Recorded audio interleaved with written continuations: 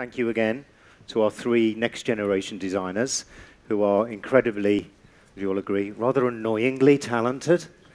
Doesn't it drive you crazy? Um, Good. But lovely to have you here in Singapore. I'm going to start with a slightly difficult question, put you on the spot, then it'll get easier.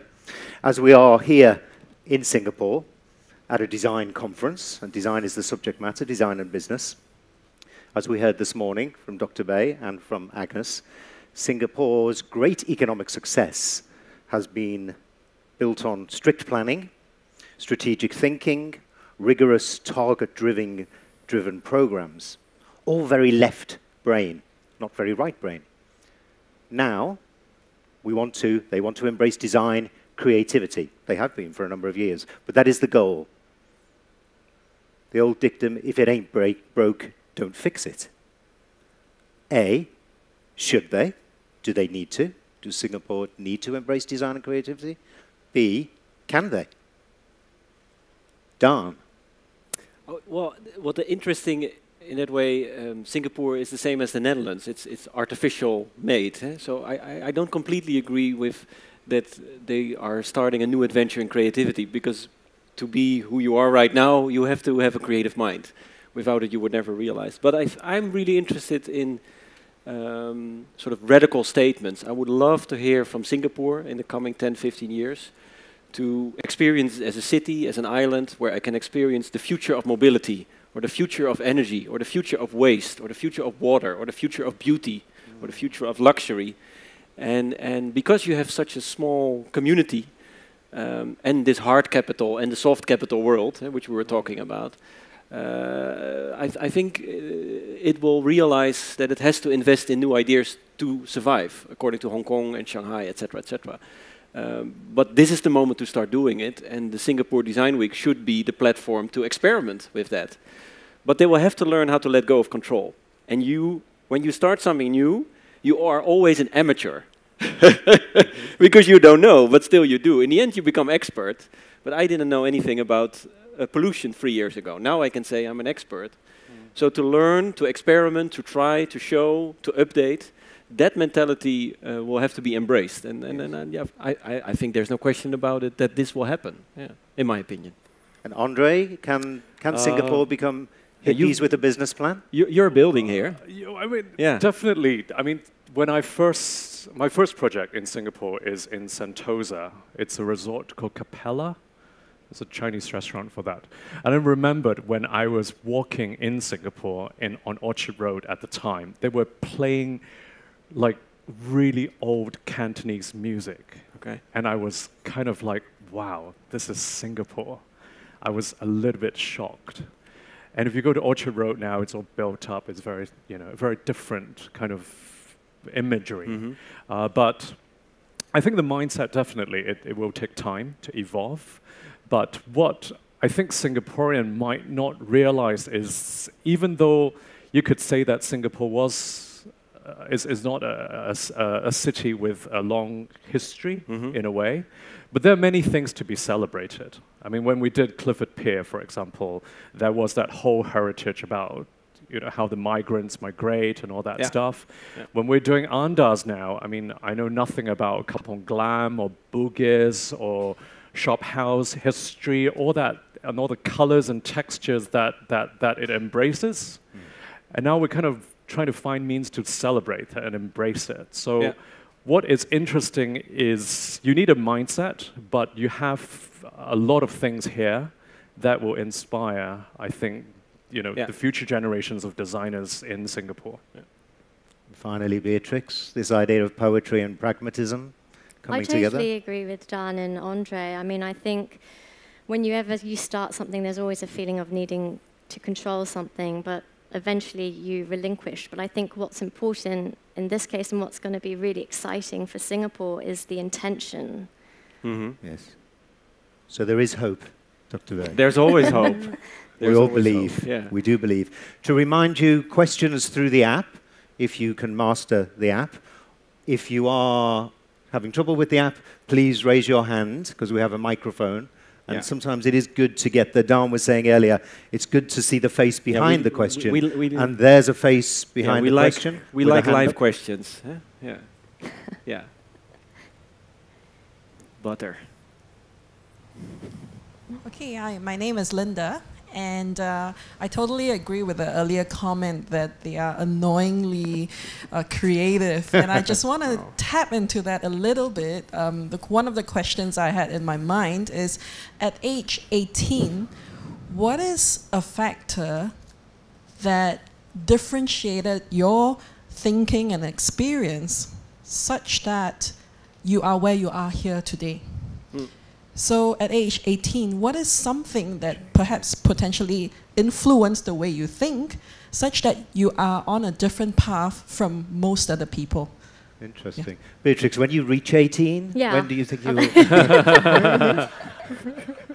what a charmer. You you cannot say that. Yeah. Um, Last I'm just trying to think way back to when I was 18. Um, Wasn't that long ago? No, it was, it come on. How old are you? How old are you? I'm 37. the Oh my. I'm 37. God, so rude. So charmless.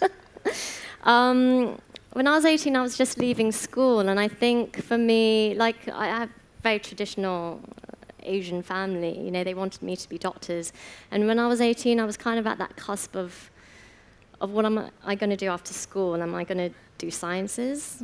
Or am I going to do art? Um, and in some ways, that was decided for me because I wasn't so good at chemistry.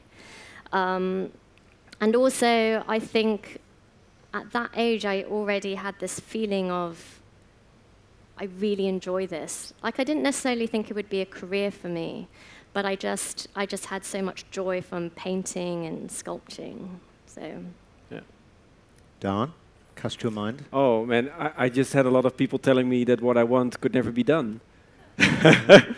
and and one morning I woke up and I said, "No, you're wrong. I'm a maker. I'm not just a consumer. I'm a maker. I can make decisions. I can make new dreams. I can make new designs." With this sort of naive ambition that what I do or that what we do adds a purpose. I mean, it's a very naive notion, I have to admit. But um, and then you start. But again, you don't know, but you you start doing. And it's a weird process because if you would have told me when I was 18, like you have this studio and this team of smart people around you and you're making stuff, I would have called you crazy. But you make things, but the making also makes you. So it's sort of a ping pong. And, and I think uh, what, what you're also, you're driven by curiosity. And then you're being fed by knowledge and expertise. Um, and the money and the clients, etc., they, they, they follow from that. And, and don't worry about that as much as, as some people are now. Yeah. Um, for me, um, I remembered it when I was about eight.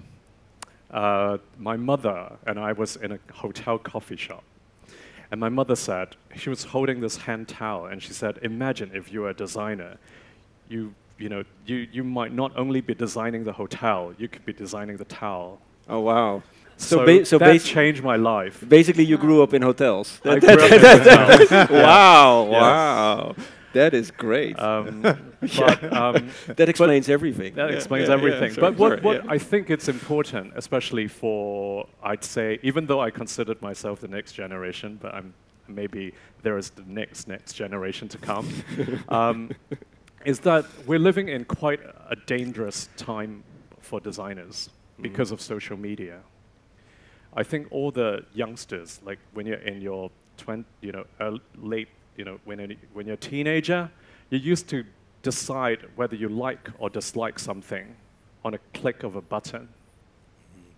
And people don't realize that a lot of things that we were showing just now, I mean, especially, I mean, the hotels that I work on, for example, the Duo project, we've been killing ourselves for four years and it's mm. still not built yet. It's still, well, it Yeah. will be out in a few months, but it takes four years. And I always analyze it with the number of people, number of people that, you know, the teenagers would have dated by the time a project that takes four years would have, you know, taken. And I think that that persistence and that belief and that it's not, you know, to be creative, it's not about, hey, I'm creative and I have this wonderful idea. There's a lot about the persistence and the passion that you have to pour into it. To, to you know, to to bring your shoes, to show it to all Yeah. these showrooms, and to brave it in a way because they will look you down initially, and how you kind of keep coming up with new things and reinvent and talk and all that. Yeah. And I think that's the key part of creativity, not just the creativity Yeah. itself. No, I agree. good. I think I think you know the, the, the idea is the taste in your mouth, Yeah. And then you need to start cooking, buying Yes. ingredients, Yes. uh, etc. Yeah. Yes, and Yeah. the number of people that Yeah. you have to convince, it's crazy. it's crazy. yeah. and for me, like the Duo project, it's an M&S uh, collaboration, i.e. the Singapore and Malaysian government. okay, So but you still look happy. I Yeah. still am very happy. Very happy. Some great questions coming through yeah. the robot at the moment. Um, here's a slightly controversial one from somebody named Where Are the Women? Where on the Women says, As designers, could you talk about the importance of diversity in design? We are at the end of the day, and Beatrix is the first woman Yeah. speaker, designer, presenter. Kudos to her, by the way. Yeah. Who? Very good. And and who asked the question? Come on. ah, yeah, good. Thank you. Thank well, you. very great question. Yeah. Man in the middle. No, I mean we we we we made the same conclusion to be honest uh, one hour ago, but fortunately there are ten more years of Singapore Design Week, so I'm sure we can sort of. But but but you're right. uh, Tomorrow's Women's Day, I I believe. th- okay, okay, good. Sorry, I, uh, we'll we'll be there. Um, but I think I think it's about triggering diversity. Uh, that's not just male or female Yeah. because that's an easy one, and it, it's important, but it's an easy one.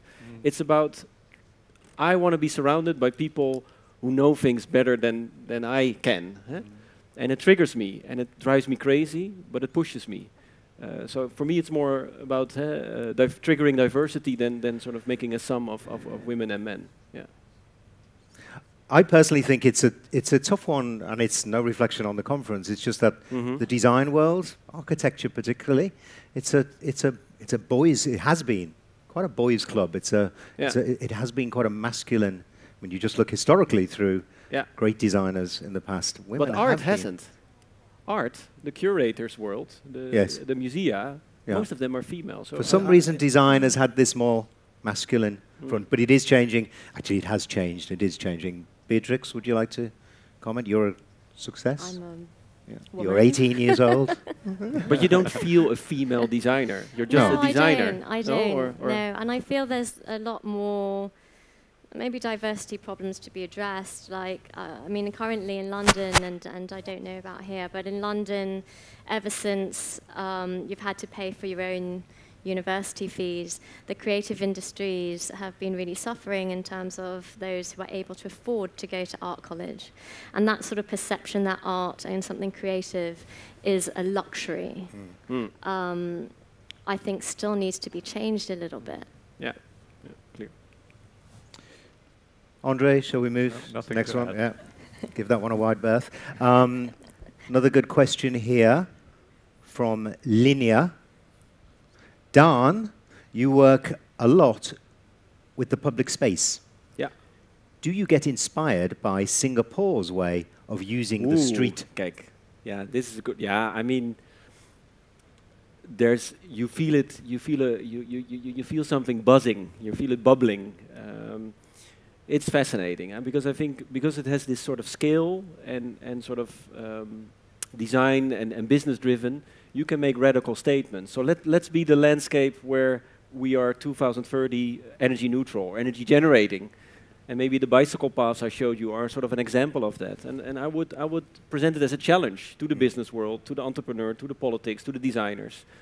Um, so I think eh, around Marina Bay and, and the way you, in, you integrate nature and the, and the flowers and all these things, but there's still a lot more to be discovered. And it should move beyond decoration or just being nice, like what you said, but it should perform. It should add a value but I'm sure uh, you can create places here that people see it online and say, okay, we want to go there. We want to be a part of that. We want to we want to experience that. And what a better place to start than, than here in that way, in Asia and in Singapore. Yeah. And Andre, you've worked here. In fact, you've all worked here and, and Mm. lived here. Mm. Do you find inspiration from the Singaporean streets? Oh, definitely. I mean, that's why I was just mentioning th- with the Andaz Yeah. project, we're hoping, because of the location, and the project is about the neighborhood, so we're trying to bring the, the shop house experience into the hotel. Yes. Event, I mean, the whole idea is that. So, Has a lovely question, might be the last one actually. I've just realized we're on time's up. It's shouting at me, but one from a design student, so it's, it's important. Um, do you have any advice? Do you have advice for a young designer? A young designer? A young designer who wants to use design to impact the world and make it a better place?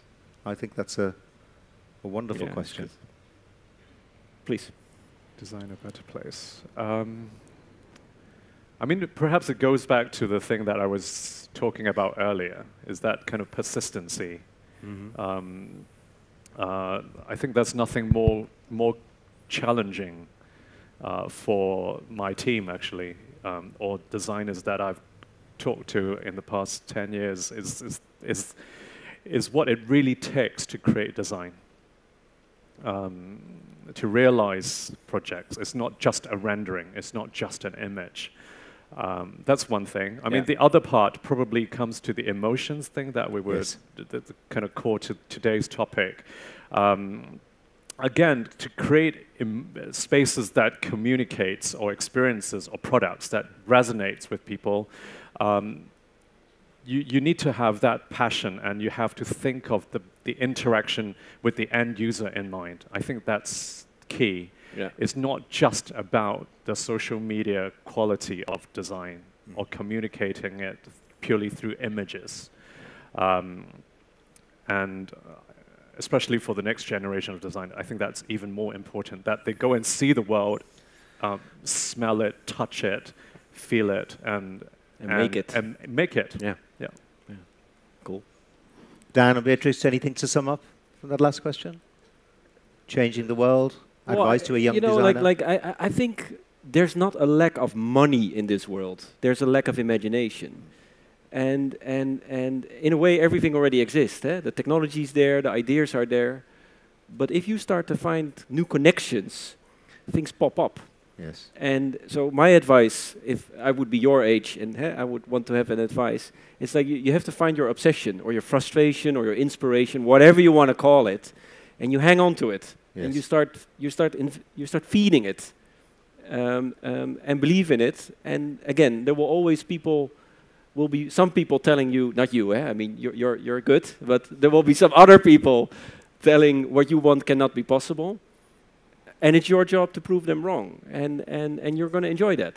And and the satisfaction of making something eh, that you have an idea and then w- in one two or three it's there. Yes. you can look at it you can touch it you know you can learn from it.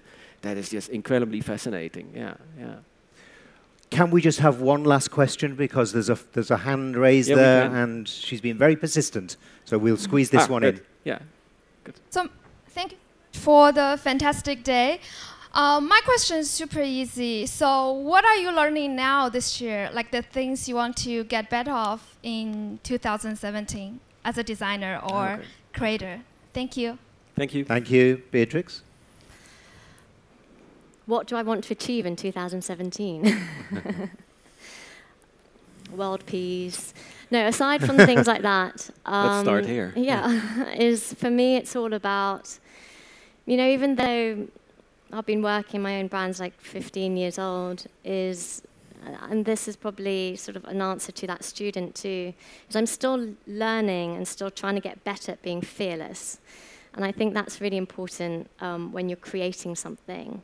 And so for me, 2017, I don't really believe in resolutions or anything like that, but but I'd like to get better at that and, and for my work to then sort of evolve really with that, with fearlessness underlining it.